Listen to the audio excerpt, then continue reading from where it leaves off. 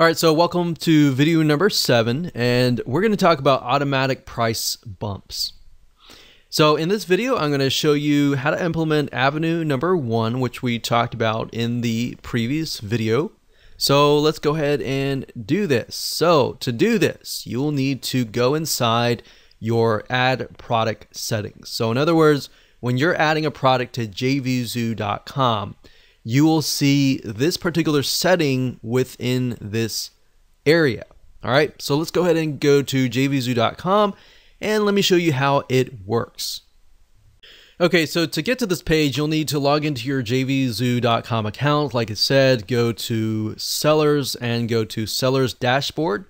And up at the top right hand corner, you're going to see a big orange button that says add a product. Click that and you'll get to this page. Now, this the user interface changes, so it could change at a later date, but all the settings are pretty much the same. So you can enter the product name, the all all of this information, the description, the product price, and all that. Now, typically back in the day, you would have to go and wait for that time. Let's say for the let's say we move it from $27 to $37. So you would have to wait for that time, that very minute, sometimes wait you know, at midnight or after midnight. And then, of course, you would have to switch the product price to $37 and click save.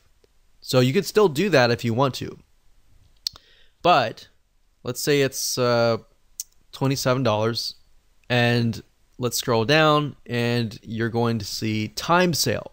So this is what we call a time sale. Now, different platforms are different and you can use this in different platforms as well if they have this. But it says, would you like to create a time sale? Click on yes. And then you can specify the date and the price. So it says time sale sets a schedule for price and then overrides it. The schedule date and time shown below.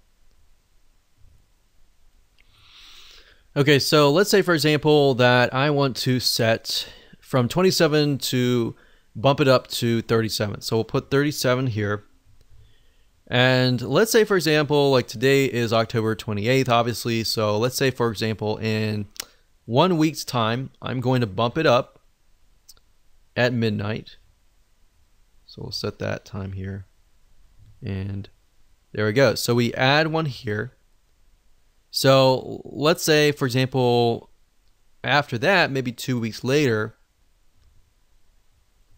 we want to bump it up to $47. Now, obviously, in your marketing materials and your sales promos, you're going to need to let people know this. So you might want to put this on your sales page. So you click add there. And that way, instead of going back and do it manually, you can actually do it automatically. And everything is automated and you are good to go. For more free educational content, visit learnforfree.biz. Content produced and distributed by AllSuperInfo.